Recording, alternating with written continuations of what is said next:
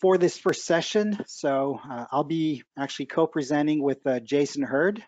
Uh, Jason, if you want to say a few words about yourself.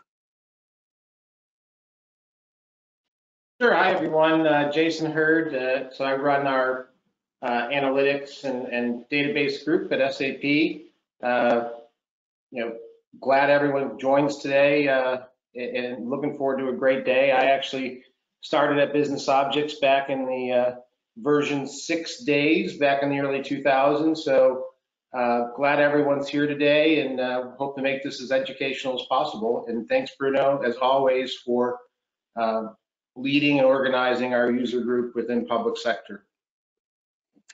Thanks, Jason. So uh, here on this first slide, what we wanted to show, actually, these were all the business object versions up to uh, 4.3 actually here. And so uh, you can really see things start actually with uh, version six. So just here, actually, there are fun uh, facts about the whole history of business objects. Uh, so initially, of course, you've got Crystal. Crystal actually is rather popular in the public sector because back in the days, uh, Crystal was going to visit agencies and giving them actually CD-ROMs at the time with Crystal uh, inside, and uh, people actually could use Crystal, do reports, and that's actually how uh, Crystal got pretty popular in the in the public sector. And of course, over the years, it's stayed very popular because uh, you've got that pixel perfect capability that you also have in uh, Webby today, but that's that was a core strength of uh, Crystal. And then after that, uh, the funny story was in these days, it was a big, um, uh, th there were a lot of rivalry between uh, Crystal and business objects. And it was actually, th their old stories actually at the time were, um, it, th there was such a big fight uh, at the at the time that uh, uh, in these days business object was actually a French company and they would call business object BO and uh, because that was B for business and O for objects. And then Crystal actually at the time picked up on it and said, you know what, actually BO means bad otter. Uh, so that was a very funny story at the time. And actually at the time, Crystal was getting a lot of competition from uh, business objects. So actually they start to ship some soaps to um, uh, to their prospects and putting on it BO. That was actually quite funny at the time. And that was a story that was reported by uh, Patrick Perrier, who's actually our CEO, who used to work for Crystal Decisions and who'll be presenting after.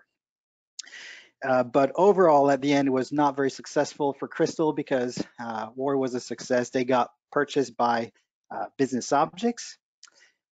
Uh, and after that, uh, so I think that was back in uh, 2003. Um, and after that, Business Object actually became traded on the stock market on the NASDAQ. And the reason that people today call Business Objects BOBJ was of course to remove the BO name, but also because BOBJ actually, uh, this was a stock ticker of business objects at the time. And then back in uh, 2000, I think that was 2007 actually, a business object got acquired by SAP. And then after that, you had all the uh, uh XI and up to 4.3 today that was introduced about a week ago. So basically these are the historical versions.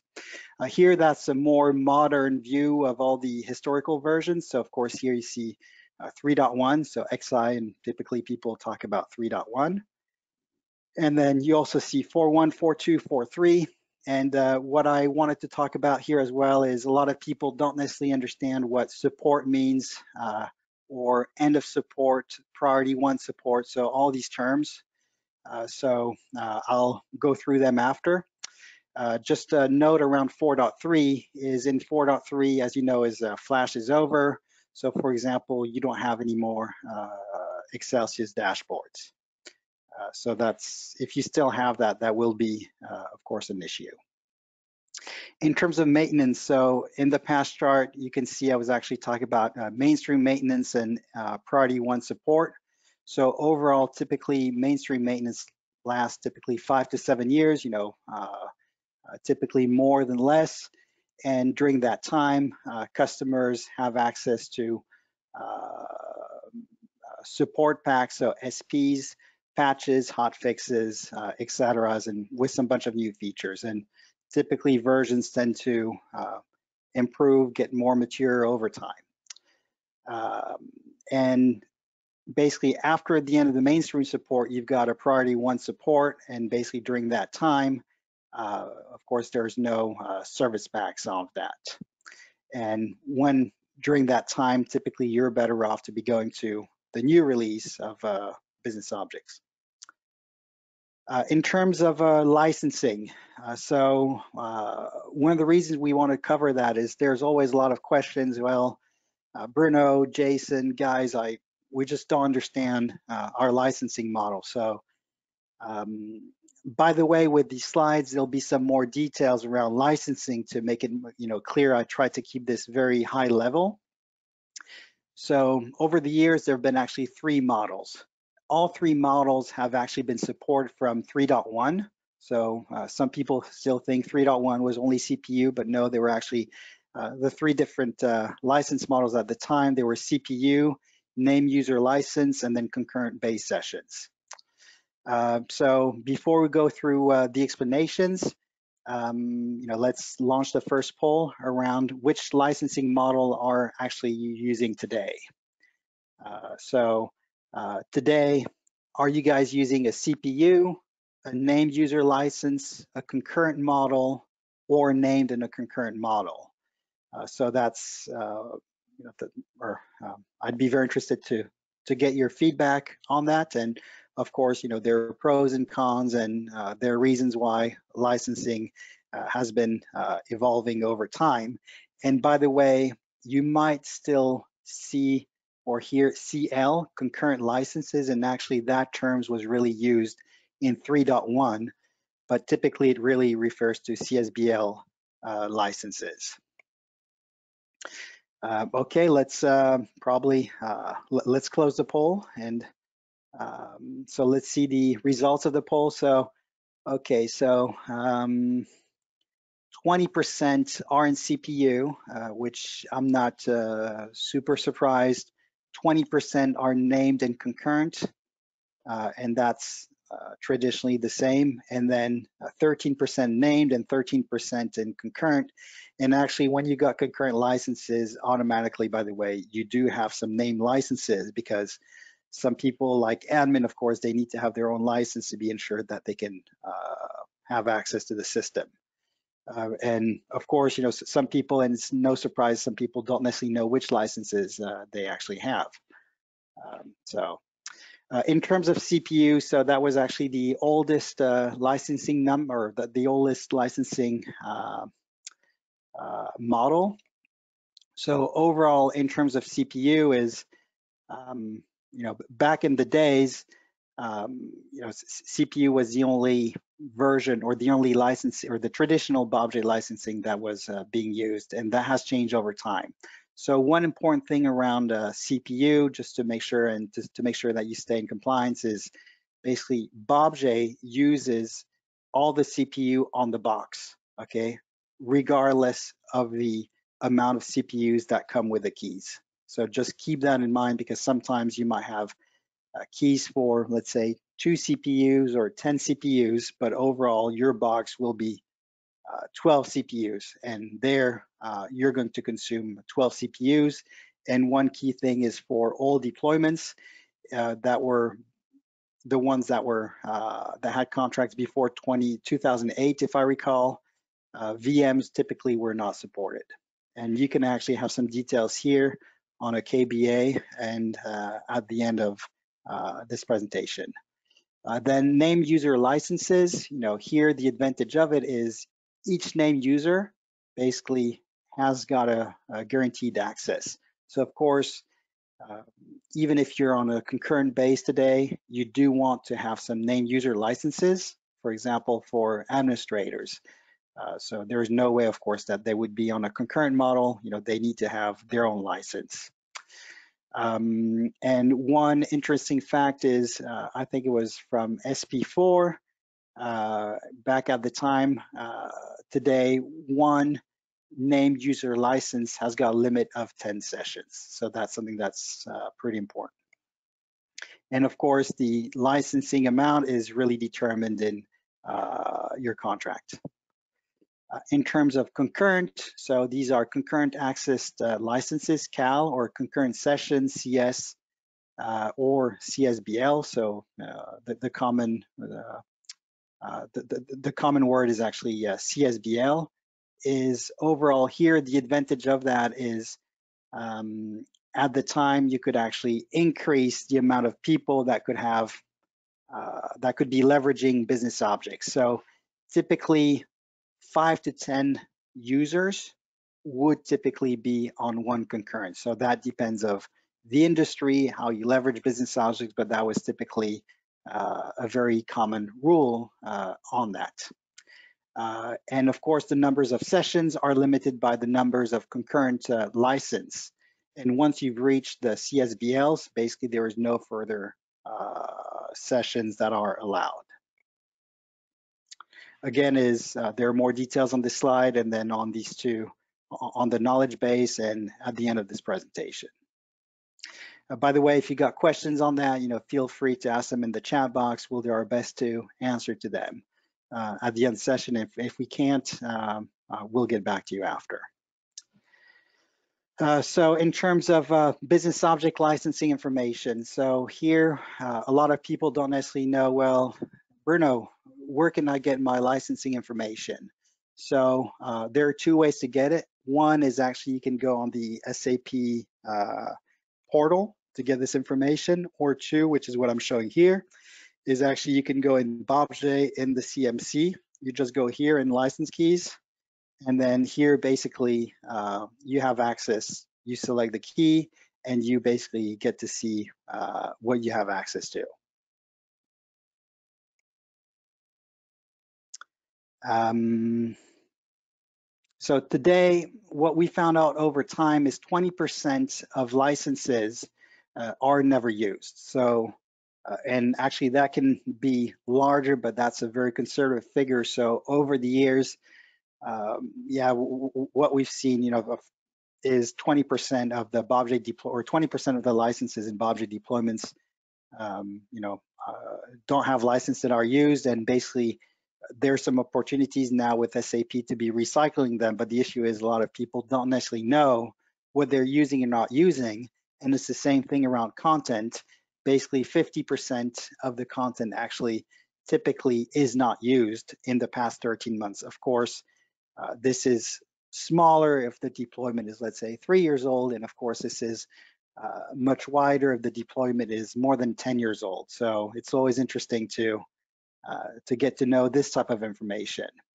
Uh, so what we did with SAP here is uh, we've actually launched a scan. So this is a free scan that we do where all the information stays on site. It's the uh, information is anonymous, so there's no confidential information. Basically, this scan will is going to, uh, we're just going to run a program with you and basically it's going to show you how many licenses you're really using or not using, which, how many reports are you really uh, using or not using. It's, it's quite interesting.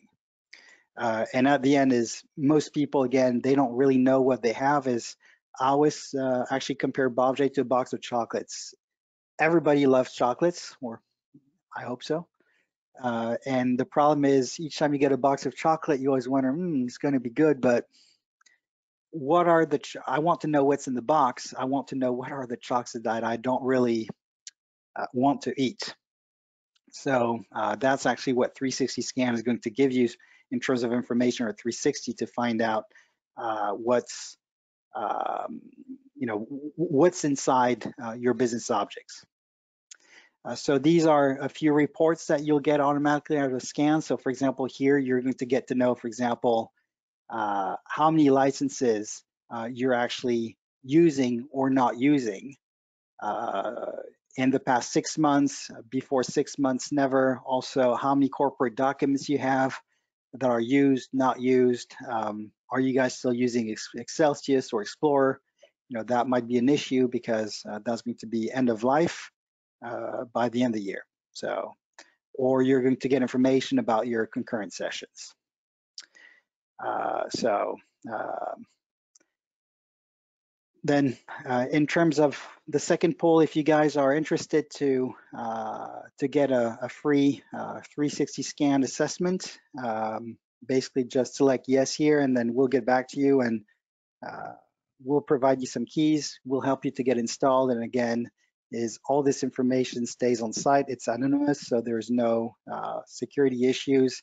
And um, we'll go through the results with you and um, basically um, our, our, actually our COE that will be presenting the next session we'll go through it with you and explain you what the numbers mean.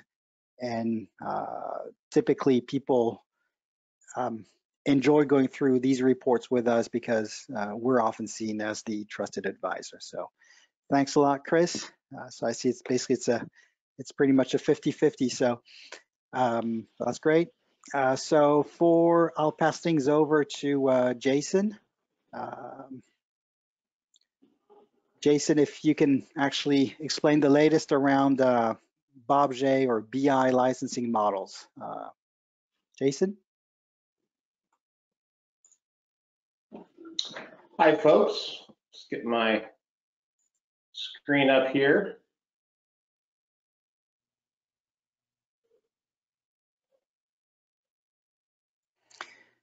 There we go. Hopefully everyone can see this now. Uh, that's still presenter mode, uh, Jason. It's not full screen yet.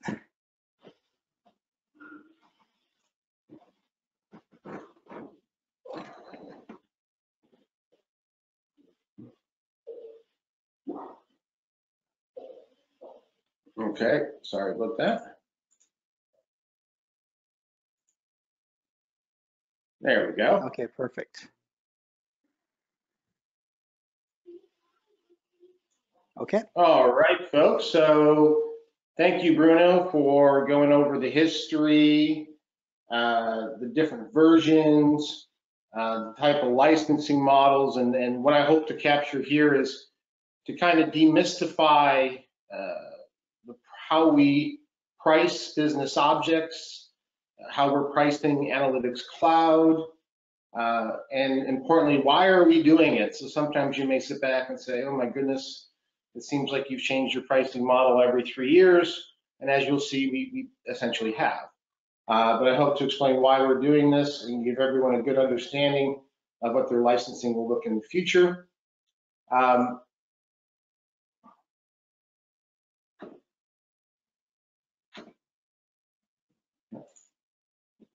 go to the next slide. Um, of course, quick disclaimer, um, you know, everyone has contracts, public sector group, GSA schedules, things of that nature. So, uh, you know, we're going to go over this at a high level, but obviously, you know, work with uh, your SAP counterparts or 360 if you have questions directly around uh, your contract. It will help uh, help walk you through that. And, and if you have CPUs, well, I'll touch upon that. There's some definitely some things that we should talk about. And, and what's interesting here on this slide is you know, as Bruno went through the different versions of, of the product, um, what's interesting here is this is kind of the history mapped to the versions of the licensing model. So um, if you look at back in the legacy business objects days, uh, we had basically business object enterprise. So this is a CPU based um, model that historically that was sold in the 2000s, you, you licensed the platform itself, uh, and then you would license, uh, you could buy web intelligence CPUs, you could buy dashboard manager CPUs, you could buy a mix of, uh, of those products on top of your platform CPUs. Um, so it was a, little complex. Um, and also with CPUs back then, you know, we were you know, running on a, you know, at most you're gonna hit a, you know, two CPU with two cores in a box. So uh, server technology was uh, vastly limited. So we'd set up clusters and failovers and things of that nature to try and get the uh, performance out of the system. Um, as you can see here as well, uh, this included all the standard products. If you look at Crystal Reports and Web Intelligence, those were the main products, uh, Explorer, which was called Polestar at the time, was added on back in the day, analysis for uh, OLAP, which was called Voyager.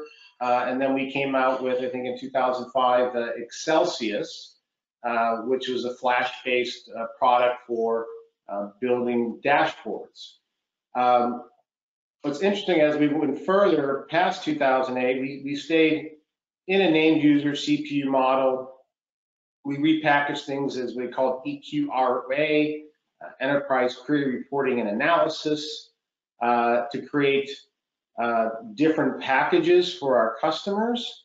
Uh, and then around uh, 2009, uh, that became what we just called straight up, it was called the BI package, which included all products. And really what happened then in 2009 is instead of having kind of an a la carte menu of to buy different types of services, Crystal, Webby, dashboards, visualization, in 2009, uh, you basically bought a single package that gave you access to all the capabilities within Business Objects. Now, right around 2009, going to 2000, through 2009, 2011, um, what basically happened was was server virtualization happened. You know, VMware, um, and Bruno made a, a very good point about business objects when you talked about CPUs. That business objects can, you know, business objects doesn't care that you licensed two CPUs. If, if you put business objects on a virtual machine that has four sockets and, and visual and can see up to 64 cores uh, on that server, it'll consume it all. It'll consume every single thing it sees. Um, and that's quite challenging when it comes to um, a pricing model.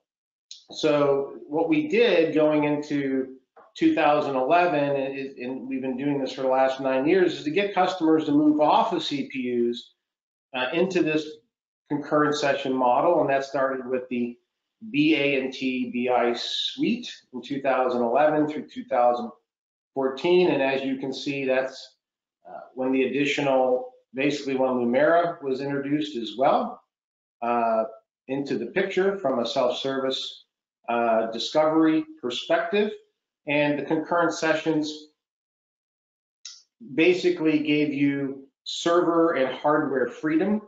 Um, also around that time in the server, there was different classifications of servers, A, B, C, and D, uh, and that was your processor chips. And um, so the, the world of trying to do things in a CPU model became very complex. And that is the big reason we moved to a concurrent session model is to give you that freedom uh, of hardware deployment. And, and now as we move forward into BOE Pro and BOE Premium um, in 2014 and 2018, um, we added additional Lumira uh, functionality, um, and but we also added SAP IQ, uh, Data Integrator, uh, Power Designer, uh, and predictive analytics, uh, and SAP Vora, some additional capabilities.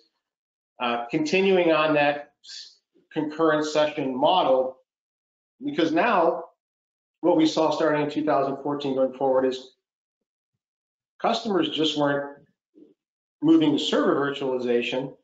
Now, uh, you know, a little company back then called Amazon uh, got into the uh, infrastructure business uh, infrastructure as a service, and that has exploded. So now you want to, now a lot of our customers, and especially in the federal government with its cloud first policy, want to move to the cloud. So whether it's uh, Amazon, whether it's Azure, or whether it's Google or some you know other private cloud provider, um, moving to concurrent sessions, being out of CPUs, uh, where you don't get yourself into license complexity or license compliance was very important uh, through 2014 to 2018.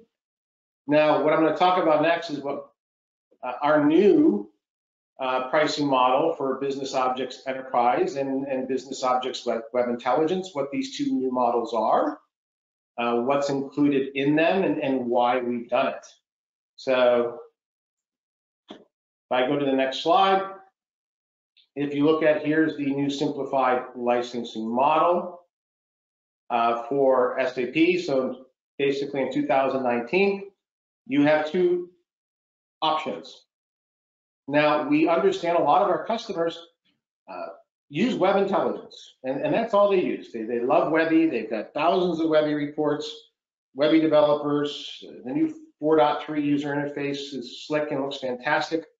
Uh, so we're giving you an option to have basically a Webby only licensing, so platform and web intelligence. And then if you're using Lumira or Analysis for Office or still a heavy Crystal Reports user, uh, we have the option for the Business Objects uh, Enterprise uh, package. So now we have two simple packages, so either Business Objects Web Intelligence or Business Objects Enterprise. So really what you need to do is choose a package. Uh, if you're not sure all what type of content's being used in the enterprise or if that content's still in use, uh, say old dashboards, things of that nature, uh, 360 scan can assist you with understanding the type of content that's in your uh, environment. Uh, that'll help you choose the right package, whether it's the Business Objects Enterprise Web Intelligence or Business Objects Enterprise. Uh, at that point, you choose a metric. Named users is a guaranteed access. So managers, senior leaders, power users, administrators, developers would have a named user license. Uh, and concurrent session-based users are people that can consume information at that point. So, and if you're not, if you have a hard time understanding what's your peak concurrent session usage, so how many concurrent sessions are in the license, I think that's very interesting. That's one of the reports that Bruno was showing that you get out of 360 Canada tell you what your peak concurrent session, peak session basis is. Uh, that'll help you pick the right number of concurrent sessions. Uh, years ago, those were sold in blocks of 25 concurrent sessions. They're now sold in blocks of 10 concurrent sessions. So uh, you choose the package. Um, and if you look at the licensing details and say, okay, what do I get? You know, what's the difference between the name user? Is there any limitations or restrictions? Uh, the answer is yes. So the big difference is, is where you see a no, okay, and where you would need um, a concurrent session license. So if you're developing Lumira content, you need a, a named user. Uh, if your finance users use analysis for Office, that is still a named user license for each user because it's a desktop client.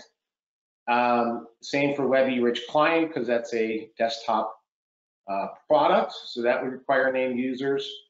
Um, and then if you look at your administration tools, all your administration tools, uh, your CMC, your Business View Manager, etc., uh, all are delivered through the named user license. So these are the big uh, differences between named users and concurrent session licensing. Uh, and just you know, think of concurrent sessions as um, if you're if you're interacting with a web intelligence document uh, and, a, and a Lumira document at the same time, uh, that's creating two sessions. Uh, so an individual user can create multiple sessions at the same time. Um, you know, that's where from an administrator's perspective, I always say, you know, be careful on your timeouts and, and how long you let people uh, keep business objects open without logging out because it's like a parking lot when you go to a sporting event or a or a show. Uh, if the, the, parking lot has a 100 parking spaces, uh, once you get to the 101st car, uh, they're not going to be able to get into the parking lot. So you're going to need a car to leave. So it's important to uh, understand that peak session usage those things happen normally uh, at the beginning and end of the month or a financial period uh, where people are getting uh, want or to get access to uh, information within business objects. So let's talk about the cloud pricing model. So here's the good news. The we didn't come up with a new pricing model for cloud. We're basically using the same pricing model for on-premise as we are in cloud. It's a user and it's a concurrent session. So uh, the way the cloud pricing models work, because uh, SAP Analytics Cloud uh, isn't just a business intelligence product, but it's also a planning product uh, to do business planning. Um, you have an analytics hub. So think of this as your uh, content space where you can put business objects reports, you can put SAC reports, you can put third-party reports. So basically, it's where your users can go and get access to the reports they use most frequently. And then from a product perspective, it's it's a BI uh, user or concurrent session, uh, which includes business intelligence, analysis for Office, for Analytics Cloud, and our Smart Predict. Uh, I'll talk a little bit more about Smart Predict in, in, the, in a minute, and our smart features. Um, so that's the license that you would need if you're doing traditional business intelligence. Uh, if your uh, agency or company is moving into planning, uh, there is a planning standard and a planning professional, and it's, and it's really simple. Um, planning professional users are people that design the planning models and all the value driver trees. Uh, and the planning standard is the people who input the data. So uh, if I have a budget or a headcount plan or something of that nature, and I'm a person that inputs data for my division, you're a standard user. If you're the person that actually has to build the planning model uh, for your organization, uh, you would be a professional user. Um, so very similar to the on-premise for our analytics cloud pricing model. Now, if you look at hybrid pricing model, and I told you I was going to answer a question of why um, have we done this and, and changed this pricing model? And I think, you know, we have to look uh, back a little bit to look forward. So, you know, on the left is, you know, historically analytics was uh, enterprise focused. Uh, it was all based on historical data. It was static. It's linear. Uh, reports came from the top down. Uh, they were, you know, I always say what was the million dollar report it took to create. It was heavy on manpower uh, and they were expensive. Uh, they're traditionally created by IT and they're operationalized for the business and they were sent out, uh, you know, on a weekly or monthly basis. You know, starting probably in 2011, um, analytics became more self-service uh, and dynamic where business users wanted to uh, create their own content. Uh, so basically they wanted IT to provide access to data uh, and they wanted more tools. Now, what's interesting going forward is that still even with self-service, a lot of insights were hidden, okay? So if you look at Forrester, Gartner, the term of uh, augmented analytics is here. That's the, the new terminology with the vast amount of data we have access to, you know, the intelligence we can gather is, is truly unlimited. And, and, now what we want from a analytics product, we want it to be automated, we want it to be predictive, we want to uh, ask questions, we want to have machine learning embedded, we want workflows um, built in our pro products uh, where we can gain additional insights. Um, you know, the beautiful thing here is that basically, you know, IT moves more to providing data to information workers, and information workers then can get the insights they need uh, without having to be a data science going forward. So uh, this is what they call augmented. Augmented analytics is built in the Analytics Cloud product. Um, and what our concept for hybrid BI uh, is simple. So, you know, what we see first, so anyone out there who voted that you are using Explorer, you're using dashboards, the first project you should do is to move that to Analytics Cloud. That the capabilities in SAC and those products are becoming in life. um, as you can see, my business objects on-prem, analysis for Office, Lumira Designer, uh, scheduling and bursting, Remember, designer is different than discovery. Designer is basically dashboard manager. So it's that, that, that dashboard manager engine. And that functionality and capability is built in the SAP Analytics Cloud product. And really what we see as the core uh, on-premise products is your universes. And, and Ken Coleman later tonight, today, and I hired a couple out about universes and the, the power of that universe and what you've done from a data perspective. But really what we see is that these, these three core, four core areas that's going to be in your on-premise environments. Web intelligence is crystal, Uh, and we still, people will probably uh, utilize some Lumira Discovery as well as the universes. So this becomes your hybrid landscape.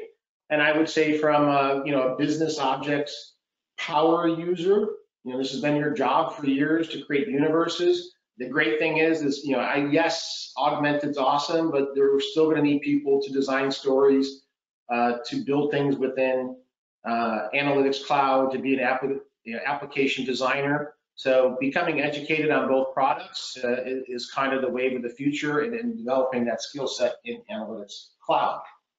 Uh, from an architecture perspective, um, it's it's interesting. What we've done is is you can uh, connect to SAP universes uh, in two ways. So you will leverage the universe and that great work you've done. You can you can connect to it live and import. A live connection directly connects the SAP universe from SAP Analytics Cloud. Query data from the SAP universe always remains behind your corporate firewall and does not enter the cloud. With the import connection, data is queried from SAP universes and imported into the Analytics Cloud product. The great news for our federal customers is SAC is now FedRAMP moderate certified. Uh, so it is available to our uh, federal civilian customers, those government customers requiring FedRAMP moderate certification. Um, there's a number of small components uh, that you'll need to configure inside your firewall to allow this connectivity. For importing data, you'll need to install and configure both Analytics Cloud Agent for live connectivity, either using a reverse proxy or using CORS, which is a cross-origin resource sharing system. Now, what our customers and what we want you to have at the end of the day is a business objects on-premise environment on the right, uh, scaled to your needs of today, uh, and then take that uh, maintenance dollars you're paying for business objects, right size it, and, and start your journey and investment uh, into the Analytics Cloud products. So you'll have this hybrid licensing landscape uh, within your agency or within your enterprise. Uh, and we foresee this is how your uh, environment will look like for the foreseeable future uh, until eventually you move uh, the web intelligence content over to SAC. So Bruno, that's all I had. Um, we're right at 9:42, so we're keeping to our So we've got, um, Jason, thanks a lot. Just uh, before we go to the uh, questions, we've got a last poll, uh, which is to understand which uh, BOBJ solution, uh, you know, the audience is uh, leveraging. uh, And of course, and I think he can actually have multiple uh, answers. Uh, So um, it'll be interesting to see how many people are using Lumira, Crystal, Xcelsius. I hope not too many left. And then we're also interested to know if you guys are leveraging leverage data services or not. Uh, so, and please uh, make sure that you write all your questions in the chat box. I see a couple that have arrived. We, we're going to have like a, just a couple minutes uh, to answer to these. So let's just close the poll and share the results. Uh, so, uh, you know, of course, uh, 89% are on Webi. Uh, 39% actually are leveraging Crystal. Actually, I expected that would be a little bit larger. Same to Lumira. Uh, and of, you know, fortunately, not that many people have still got Xcelsius um, because basically that's going to be end of life at the end of the year uh, due to Flash. And typically, customers with Xcelsius are uh, great customers to go to SAC. Um, and then it's interesting to see that uh, about 40% of you are actually leveraging uh, data services. So that's uh, that's pretty interesting. So um, I'll share my screen just to go through uh, the last uh, slides. Um, okay, uh, can you see my screen, Jason? I'm still seeing mine. Okay. you go. can Uh, I see my screen now. So, so overall, in terms of uh, questions, so before we go to the next session, so I see a couple questions that got in. Okay, let me uh, read them and let's do our best to answer to them. And the ones that we can't answer, we'll just answer to them uh, uh, after uh, this event. So there is one question from uh, Jaya. Uh, can we choose all three metrics for BOE licensing package? Um, so, so business objects enterprise, you have a choice of named user or concurrent session. Those are the only two choices. CPU is no longer available.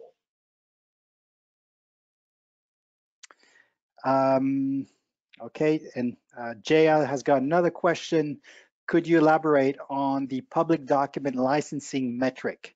How does that work in conjunction with uh, name with uh, name user licenses and concurrent session-based licenses, CSBL? So within the um, business objects on premise, so public document viewer license. Uh, so that is a uh, my understanding, and, and I'll, I'll, check Janet for you, that is a single uh, fee. Uh, so it's a one, it's to be able to expose uh, those documents in a public uh, website or, or, within some type of public network that you may have. And JF, we haven't addressed all your question, just either put something back in the chat box or actually myself or Don will uh, send you an email. And if there, if you need more details, we'll be more than happy to try to help you. And We've got actually, I think it is. She got you got my phone number too, so you can give me a call. Uh, we've got a question from uh, Singram as well. So, um, uh, by the way, Singram is, you know, 4.3 uh, is actually was out about a week ago. So uh, Singram is asking, we presently have 4.2 SP4 in prod with 25 uh, named user licenses. If I install 4.3 on test, requesting the new license keys, will I lose the existing licenses for 4.2 SP4 in prod? No, you, you should not. Um, SAP, uh, if you're, depending upon when you acquired business objects, um, if if it's post 2008, uh, SAP does not charge for test and development environments, uh, and you have the ability to run simultaneously in both versions uh, while you're doing an upgrade. So you should be able to download 4.3 onto your test environment without losing uh, any licenses that are current on your production version. And I think to get the licenses for 4.3, as long that he's up to date in terms of maintenance, Jason, I think is uh, Singram just needs to uh, ask uh, SAP basically to get keys for 4.3. Is that correct? Correct, and that would be on the uh, software download center. And if you're the S user, uh, you would have access to download those keys on the software download center. Uh, if you do not have that access, send us an email or create a support ticket uh, where you can get access to do so. Okay, I see two more questions. Uh, and uh, before we go is one is uh, you guys were talking about 360 scan. This is a question from Bob. And how long is uh, does 360 scan take uh, to run? Uh, so typically on that is we say that 360 scan will run in about an hour. It can be sometimes a little more, sometimes a little less. We actually did a scan this week in Germany. It took like 20 minutes. And another one uh, locally, I think about a week ago, and it took like 45 minutes. But in reality, it really depends uh, of the size of your environment. So there's no rule of thumb on that, but that typically we say it's going to last about an hour. And then the last question is, uh, uh, is um, what type of information is 360 scan showing? Does it show any confidential information? So no, 360 scan will not show any confidential information. It's all anonymized. So it's just going to show you actually information around uh, your licenses, what you're using, not using in terms of documents. So it's not going to display any username or uh, anything like that. And you can actually decide uh, yeah, um, you can actually uh, decide what to do with uh, this information.